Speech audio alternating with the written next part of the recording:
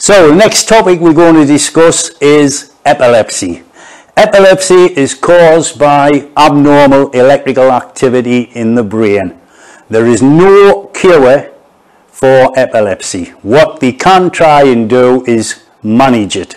So what would happen if you walked into the room now this person is collapsed on the floor, he's having a seizure through epilepsy. What's the first thing that you do? Any situation that you walk into, what are you looking for? Danger. So what is the danger? Have a couple of seconds to think. What would be your natural reaction to do? Remove the source of the danger. So take the chair away. But what if the chair was bolted to the floor? How could you make that area safe? Use padding. Put padding round. So if you cannot remove the source of the danger, use padding, blankets, clothes, pillows, anything like that. Just make it as safe as possible. Now, in a normal generalized seizure, you have what we call a tonic clonic recovery phase. The tonic is where the patient suddenly goes rigid, the clonic where he starts shaking, and the recovery when the shaking stops and you then monitor the patient. So you've removed the cause of any danger, the chair, or use the padding. What can you safely do now while the seizure is running its course? Remove any clothing, anything like that. Tight clothing but don't put your hands anywhere near the mouth. You've got to let the seizure run its course.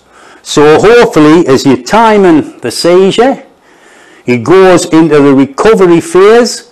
What are you then going to do now? What's the danger of leaving somebody unconscious on the back like that? Yeah, he could swallow his tongue or vomit. So, when the shaking stops, the clonic phase, recovery phase, put him into the recovery position like that and monitor. Now, as we previously discussed, where on the scale of level levels of response will this patient be? He'll be at the bottom. Remember, AVPU, he'll be unconscious. He will need time to recover.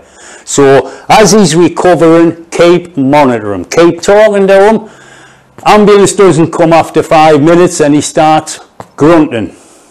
After 10 minutes, still no ambulance. He looks up and says, who are you?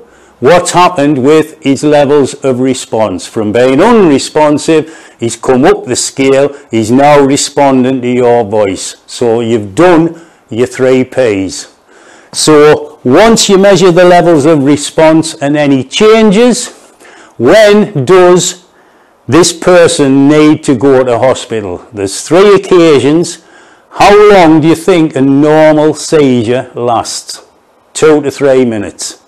So if the seizure lasts for longer than five minutes or more, they need to go to hospital.